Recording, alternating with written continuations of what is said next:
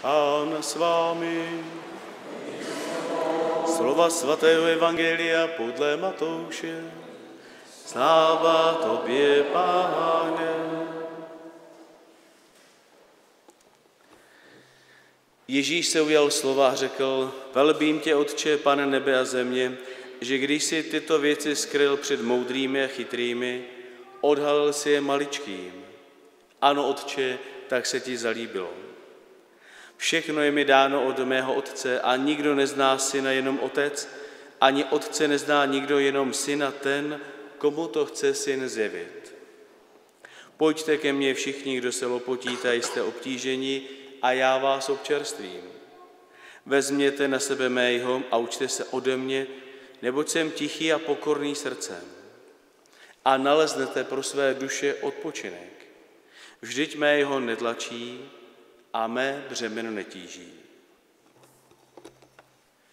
Slyšeli jsme slovo Boží. Chvála Tobě, Kriste. Milé děti, milé sestry, bratři, dneska slavíme 14. neděli v liturgickém mezidobí a Boží slovo, které jsme právě slyšeli, tak můžeme říci, že nám předkládá dva takové rozměry. Tím prvním určitě je svatý Pavel, který píše Římanům a hovoří jim o božím duchu, o duchu svatém. A učí je, aby zkrátka ve svém životě dokázali nežít podle svých nápadů, podle těla, podle svých myšlenek, ale aby se nechali vést božím duchem. Protože právě tehdy, kdy člověk se nechá vést božím duchem, bude v něm opravdový život. A naopak, když člověk se nechá vést sám sebou, tak zkrátka nevíme, jaký bude cíl jeho cesty. A tak svatý Pavel napomíná Římany a říká jim, že je potřeba zkrátka nechat se vést tím duchem, který dokonce dokázal vzkřísit Ježíše z mrtvých, který je poutem lásky mezi otcem a synem. A právě tento boží duch má schopnost také nás všechny dovést do Božího království. A tak je nesmírně důležité nechat se vést Božím duchem. Jakou to může mít konkrétní podobu? Tou konkrétní podobou bude to, že člověk komunikuje s Božím duchem a konzultuje svůj život, své kroky, svá rozhodnutí. Že zkrátka člověk také ve světle Ducha Svatého konzultuje svůj hodnotový žebříček. Že člověk hledá, jaké má v životě priority. A jestliže si člověk srovná tento svůj žebříček s Duchem Svatým, tak potom může mít jistotu, že krok za krokem směřuje k Božímu království. A tak možná i právě dnes můžeme, milé sestry a bratři, se zamyslet nad tím, kdo vede můj život jaká rozhodnutí já dělám. A nakolik zvu také do svého života Božího ducha, toho ducha, který můžeme říci, že je tím nejsilnějším, který může můj život také vést. Potom první čtení a evangelium hovořilo o pokoře Mesiáše, božího služebníka. Slyšeli jsme, jak říká prorok, že zkrátka on bude ten, který pojede na oslátku.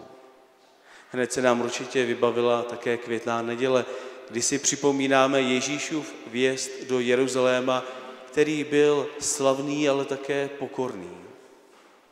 A potom celé dnešní evangelium hovoří o pokoře Ježíše Krista, o tom, že on je pokorný, milujícího srdce.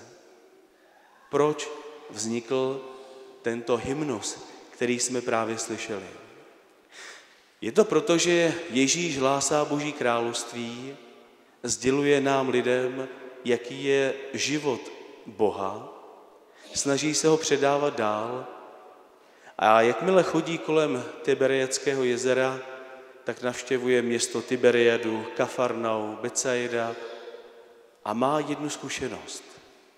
Když káže těm, kteří jsou bohatí, kteří patří mezi elitu židovského národa, jsou třeba kněží nebo můžeme říci farizové, učitelé zákona, tak často právě tito lidé odmítají jeho učení.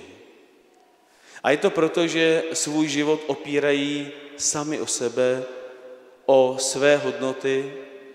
Můžeme říci, že svoji naději vkládají do věcí, o které se mohou opřít. Zatímco Ježíš má zkušenost, že ti, kteří jsou těmi malými, chudými a nepatrnými, jsou daleko více otevření k přijetí Božího království. A tak najednou ze srdce Ježíšovi vytryskne chvalospěv a říká, velebím tě, Otče, že si ty věci skryl těm mocným a bohatým a dáváš je těm maličkým. Takže první část toho hymnu je chvála, je požehnání, je díku vzdání Ježíše Krista za tu nově vznikající komunitu těch, kteří mají citlivé srdce. Ježíšovi ze srdce vytryskla, vytryskla radost a modlitba. Tak ve chvíli, kdy i my se cítíme, že jsme Bohem povoláni, abychom šli tou jeho cestou, tak ta boží radost je vylita i na každého z nás.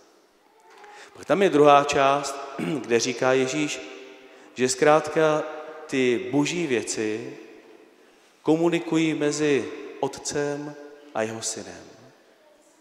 To všechno, kdo je otec, zná jenom syn a syn to všechno sděluje tomu, koho, komu on chce. Takže můžeme říci, že tím jediným prostředníkem k poznání božích věcí a božího života je Ježíš Kristus. On je tím mostem. On má plné poznání.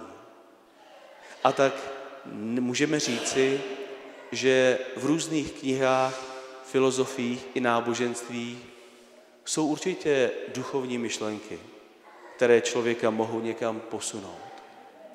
Ale plnost pravdy a plnost zjevení se nechází v Evangeliu, v Božím slově, v tom, co nám Bůh zjevuje. Takže jediný, kdo zná pravdu o Bohu, tak je Ježíš Kristus a ten, komu to chce, také Kristus sdělit. A opět my se můžeme cítit mezi těmi šťastnými, protože my máme plnost poznání v Ježíši Kristu, v jeho církvi. A můžeme se radovat z toho, že Bůh si nás vybral proto, aby tyto boží věci nám vložil do srdce. Je pochopitelně na nás, jak s těmito božími věcmi potom my také naložíme. A poslední část toho dnešního hymnu, první byla chvála, druhé poznání, most mezi nebem a zemí v Ježíši Kristu. A to třetí je můžeme říci pozvání Ježíše Krista. Pojďte ke mně všichni, kdo se lopotíte a jste obtížení a já vás občerstvím. Takže Ježíš nám neříká, až tohle všechno budeš dodržovat, až budeš bez hříchu, přijď a bude mezi námi nějaký dobrý vztah. On říká přesně naopak, kdo jste obtíženi, kdo prožíváte strasti a bolesti tohoto světa – kdo si se sebou nevíte rady, kdo jste obtíženi svými hříchy, kdo nevíte kudy kam při výchově svých dětí, kdo si nevíte rady s doprovázením nějakého člověka, který zkrátka třeba je těžce nemocný po mnoho let a člověk už ztrácí sílu, aby doprovázal. A můžeme to říci dál a dál. Vším tím, čím jsme obtíženi, tak jsme pozváni, abychom přišli k Bohu a byli občerstveni. V něm nalezli tu naději.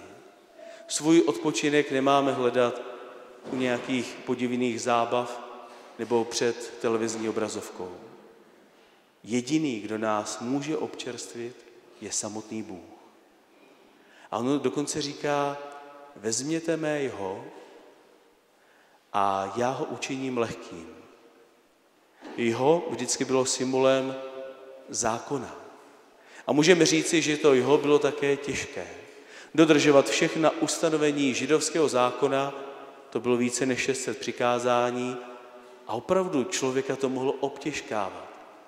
Protože zkrátka, když jsi splnil těch více než 600 přikázání, seš spravedlivý a před Bohem něco znamenáš. A mnoho lidí na to nemělo. Ježíš Kristus říká, vezměte mého, které netíží. Proč? Protože Ježíš, můžeme říci, že překonal těchto více než 600 přikázání těmi dvěma přikázáními, přikázání lásky k Bohu a lásky k bližnímu. Takže jediné jeho můžeme říci a jediná tíha, kterou neseme, je tíha zodpovědnosti, nakolik naplníme ta dvě přikázání lásky. Ale můžeme říct si, není to dodržování 600 přikázání a potom budeme mít vztah s Bohem. Ale nakolik se otvíráme boží lásce, natolik jsme schopni potom také Boha více milovat a natolik jsme schopni také vytvářet vztahy i mezi sebou. Tak, milé sestry, bratři, jsme těmi maličkými, které si Bůh také vyvolil. Pochopitelně, že někdy upadáme a opíráme se o věci tohoto světa. Možná jsme někdy plní sebe sama, ale vždycky zjistíme, že to není ta správná cesta. Ba naopak vnímáme, že ta cesta, kterou nám Bůh dává, je cesta jeho následování. Poprosme, abychom i my dnes dokázali mít pokorné srdce, které vytváří Bohu prostor k lásce k němu a také k našim bližním.